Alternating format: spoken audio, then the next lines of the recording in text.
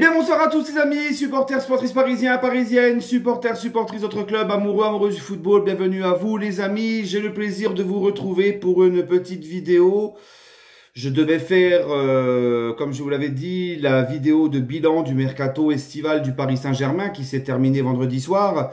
Mais ça sera repoussé à demain parce que là aujourd'hui, priorité et c'est vraiment la moindre des choses qu'on lui doit. Une petite vidéo d'hommage, d'adieu, de remerciement à Danilo Pereira, qui est là, voilà, le, soldat Danilo, euh, qui va donc quitter Paris Saint-Germain. Il a passé sa visite médicale à Al Ittihad, club d'Arabie Saoudite. Euh, c'est le club, hein, il me semble, de Benzema. Euh, pour 5 millions d'euros, voilà, il a passé sa, visite médicale. Ça sera officiel dans, c'est imminent. Hein. Là, au moment où je fais la vidéo, c'est pas encore officiel, mais ça va être officialisé dans les prochaines heures, puisque déjà le mercato saoudien s'arrête tout à l'heure à minuit. Donc voilà, c'est ça y est. Danilo Pereira ne sera donc plus euh, dans quelques temps, très bientôt, imminemment euh, plus joueur du Paris Saint-Germain. Alors, euh, je ça me tenait à cœur de faire cette vidéo-là. Je voulais juste vous dire, les amis, que demain aussi, donc on fera la vidéo de bilan du mercato, mais également à 20h30, retrouvez-moi sur la, chaîne YouTube de François, vous savez, le supporter du LOSC sur sa chaîne YouTube, le Bistrot du LOSC, où on, refera donc, on, fera ensemble un débrief de l'île Paris Saint-Germain. C'est à 20h30. Je vous mets le lien euh, du live euh, en commentaire épinglé. Comme ça, demain, vous n'avez plus qu'à cliquer. Et, voilà, venez nombreux représenter avec moi le, Paris Saint-Germain. Voilà les amis, donc euh, Danilo Pereira, les amis, je vous avoue franchement, moi, vous connaissez, j'ai toujours euh, louer ce joueur, cet homme aussi.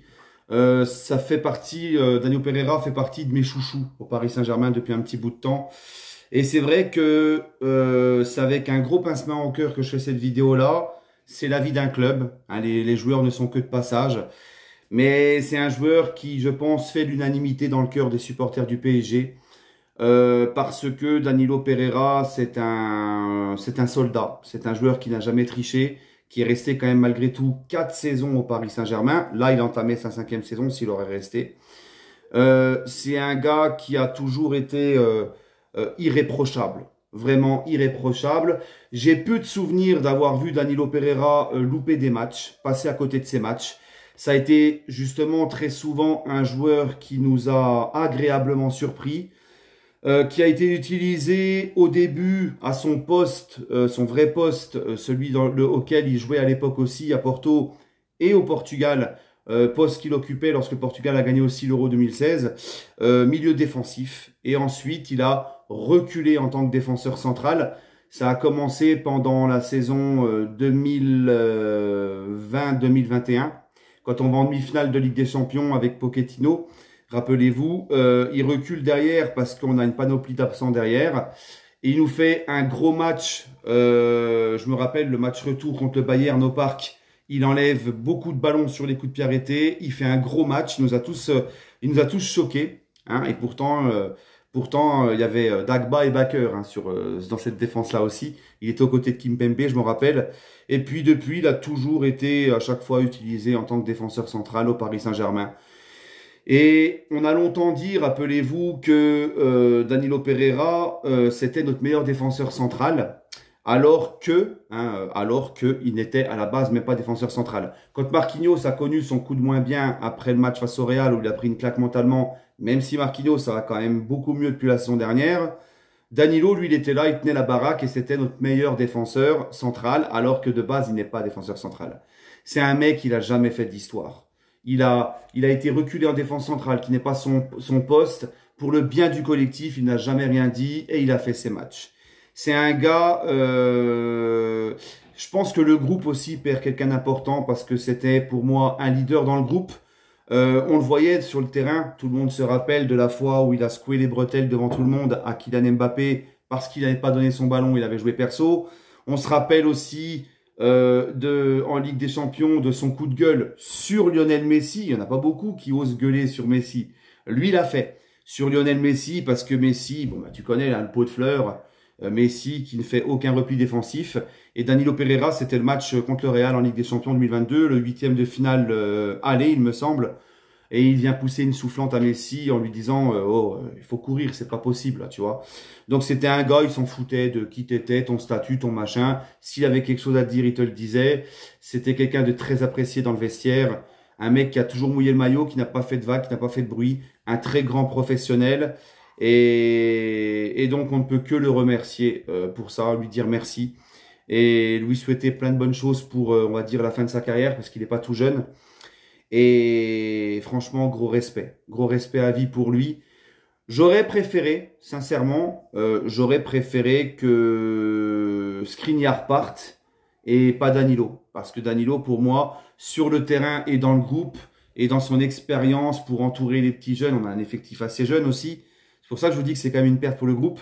Bah, J'aurais préféré garder Danilo pour Skriniar, à la place de Skriniar. Mais bon, c'est en plus Danilo, il a un côté, euh, il a un profil assez euh, athlétique, atypique, euh, qui, qui, est très intéressant dans les coups de pied arrêtés.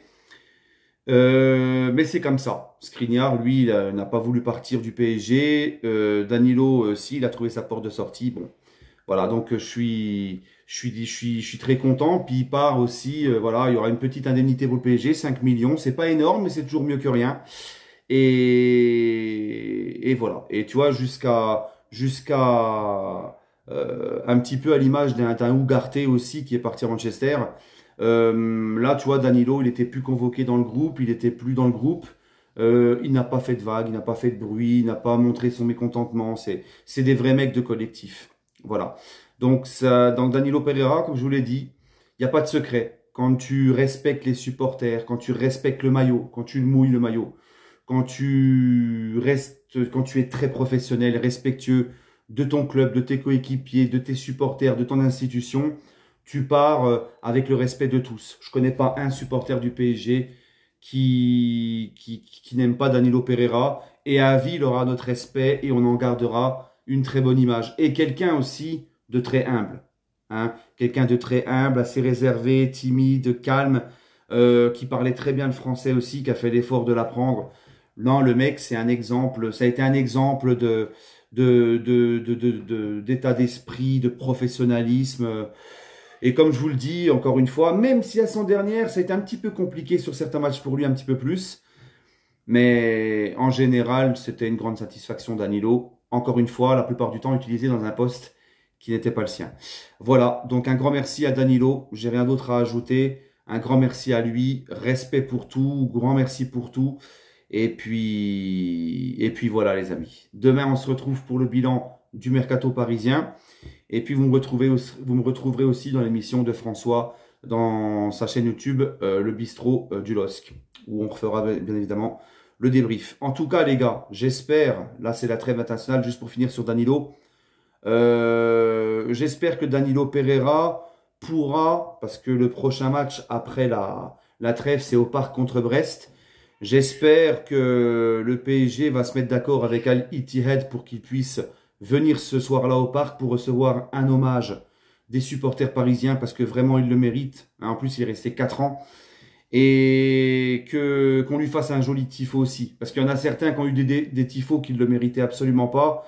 Donc lui, vraiment, euh, s'il y en a bien un qui le mérite, c'est bien lui, Danilo Pereira. Voilà. Donc j'espère aussi qu'on le reverra pour une dernière... Euh, un petit adieu au Parc des Princes. Euh, euh, voilà. Allez, prenez soin de vous, les amis. Et toujours et encore, allez Paris.